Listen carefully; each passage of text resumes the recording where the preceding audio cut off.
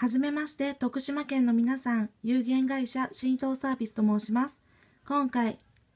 サッカー場や野球場で使用されているスポーツ用ロングパイル人工芝を紹介します。